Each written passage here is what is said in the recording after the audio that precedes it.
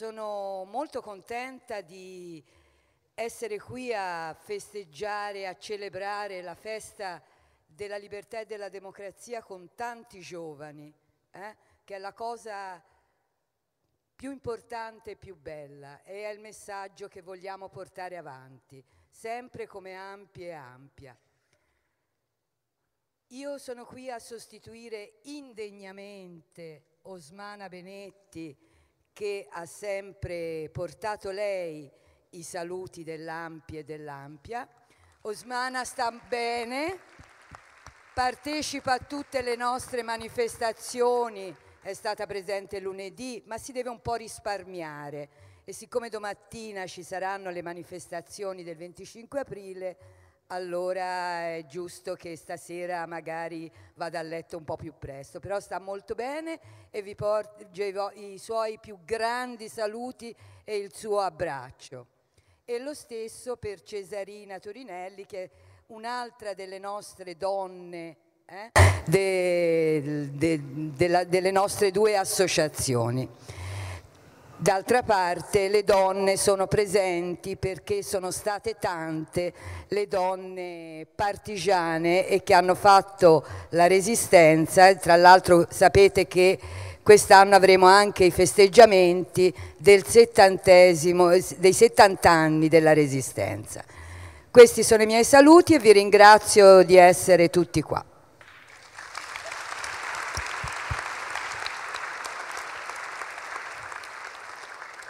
Buonasera.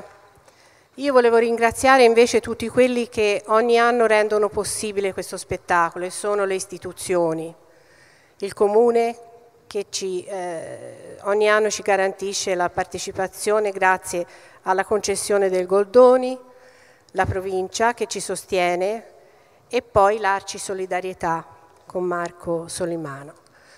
Volevo dire una cosa, a quello che ha detto lei c'è poco da aggiungere, cioè quando noi venne in mente di, eh, di fare uno spettacolo e di coinvolgere il più possibile eh, eh scuole di danza, eh, ragazzi che suonassero e, e, in questo caso sono venuti fuori anche poi i, i carcerati della, della casa circondariale, volevamo estendere il più possibile il messaggio di questa festa perché la, la libera, il 25 aprile deve essere innanzitutto una festa. Eh, lo spettacolo è una eh, libera interpretazione della fiaba di Pinocchio ed è molto interessante quello che scrive Alessio Traversi. Vi leggo soltanto le ultime parole. Sì, è tempo che il burattino diventi uomo, che creda, obbedisca, combatta, che non dia scampo ai nostri nemici e infine neanche ai nostri amici, neanche a noi e neppure a se stesso, finché da quel pezzo di legno abbattuto non nascerà davvero un'altra storia. Ecco, questo è un invito a non essere mai indifferenti, a cercare di combattere perché la, la democrazia conquistata a duro prezzo e con tanti sacrifici dai partigiani e da chi lottò per liberare l'Italia dal nazifascismo venga mantenuta a dispetto di tutto e di tutti.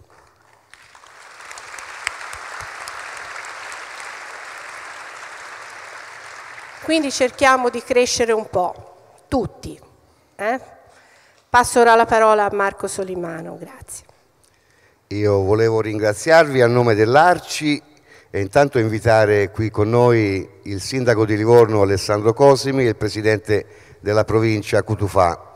Grazie a voi per essere intervenuti questa sera.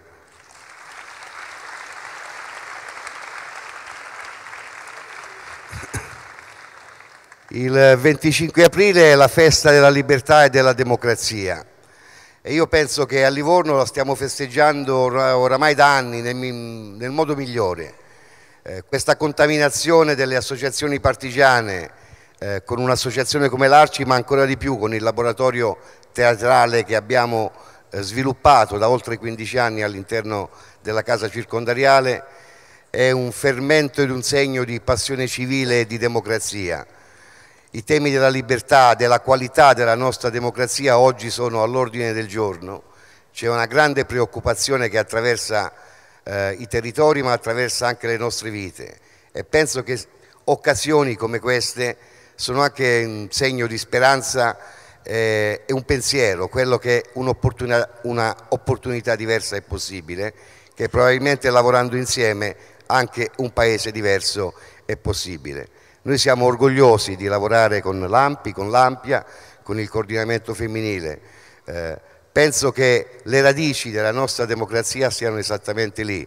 Noi dobbiamo ringraziare i partigiani per quello che ci hanno regalato, un bene inestimabile, la libertà, dopo una dura lotta contro il nazifascismo e l'essere oggi qui insieme alle associazioni partigiani, al carcere, ai detenuti e a tante persone come voi rappresenta davvero, davvero una speranza possibile per il nostro futuro.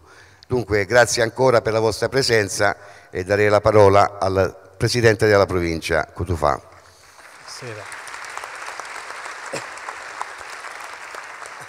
Io apprezzo moltissimo questa iniziativa che mette insieme tanti giovani talenti livornesi e, e coloro che sono ristretti nel carcere e che appunto si preparano a rientrare nuovi e migliori nella nostra società.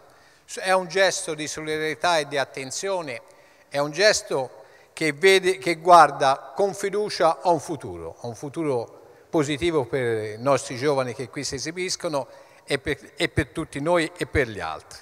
A questo futuro bisogna operare con grande impegno. E io faccio mia l'appello che il Presidente Napoletano ha fatto a tutti quando ha accettato, e io lo ringrazio proprio per questo, il nuovo incarico alla Presidenza della Repubblica. Ha detto, auspico fortemente che tutti sapranno onorare i loro doveri concorrendo al rafforzamento delle istituzioni repubblicane.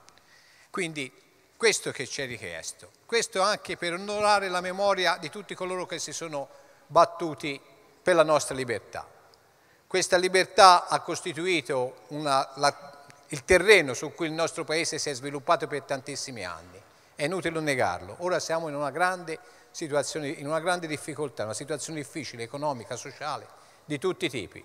A, a 60 giorni dalle elezioni siamo sempre senza governo, una condizione quindi di anche impasse democratico. Io mi auguro che con l'incarico che è stato dato oggi, fra l'altro a una persona tutto sommato anche giovane, di una generazione diversa da quella che fino ad ora ci hanno governato, possa essere aperta una nuova strada, una strada di, di rilancio, una, una, diciamo, una serie di iniziative che possono rimettere in moto il meccanismo dello sviluppo e il meccanismo della crescita. Questo diciamo, lo dobbiamo, lo dobbiamo a chi ha combattuto, ha dato la vita e ha creato le condizioni per una società migliore. Non perdiamo questo tesoro, non perdiamo, teniamo insieme questo Paese, teniamo insieme questo Paese. In questo momento difficile bisogna tenere insieme questo Paese. Seguiamo gli insegnamenti del Presidente Napolitano, ringraziamolo ancora per quello che sta facendo in questo momento difficile anche a livello internazionale per dare credibilità. E per dare credibilità io sono perché si accetti tutti l'invito che lui ci ha fatto. Facciamo tutti nel nostro posto fino al massimo il nostro dovere. Onoreremo l'impegno che i nostri combattenti hanno avuto dando la vita per restituirci la libertà. Grazie.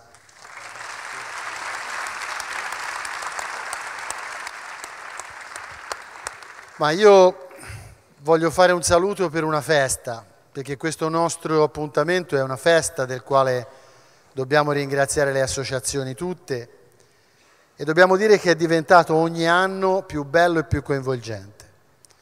Intanto un saluto a queste due donne splendide che sono Osmana e Cesarina, che da anni, forse noi non abbiamo ben chiaro, l'età di una signora non si dice mai, ma non abbiamo ben chiaro quanto è che si impegnano in queste cose. È vero, è un momento difficile, però è anche vero che ogni anno riusciamo a trovare la forza di ricordare in maniera positiva un momento tragico. Io non voglio fare un ragionamento che faccia pensare che ci voglia dei disastri e degli eroi, perché secondo me invece ci vuole un sacco di gente normale, che possa concorrere quando è giovane a costruire la propria felicità, che abbia la prospettiva di una possibilità di trovare un lavoro e soprattutto che abbia la prospettiva di fare le cose, come richiamava anche Giorgio, che sono dovere, rivendicando insieme anche i propri diritti. È questo l'insegnamento. Ci sono stati momenti terribili nella storia della Repubblica. I costituenti hanno sopportato di tutto. Vorrei ricordare che momenti difficilissimi sono stati anche subito dopo la guerra. Però un punto è chiaro. Noi abbiamo una sorta di Vangelo laico, che è la Costituzione.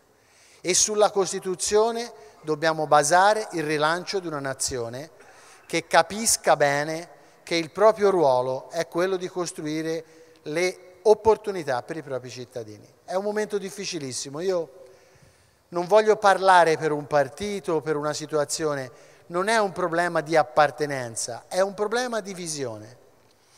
Dobbiamo pensare davvero che si costruisce il futuro partendo dai territori. E lo voglio dire con orgoglio perché il Goldoni ha rappresentato qualcosa nella storia di questa nazione ha rappresentato un momento importante anche in una differenziazione che poi la storia capirà se era giusta o era sbagliata, ma ha rappresentato un motore, perché quando si incontrarono per la Costituzione i costituenti non si domandarono di che partito erano, decisero che lavoravano insieme per il futuro di questo Stato. Oggi siamo in una fase molto delicata e io devo dire la verità, io ho un anno, un anno e qualche mese a scadere, vorrei lasciare un testimone che dica che da Livorno si parte per una riflessione davvero sulla fase che stiamo vivendo. Una città laboratorio intelligente come è sempre stata e che parte però dalla Costituzione e che parte dal valore di quelli che hanno fatto la resistenza.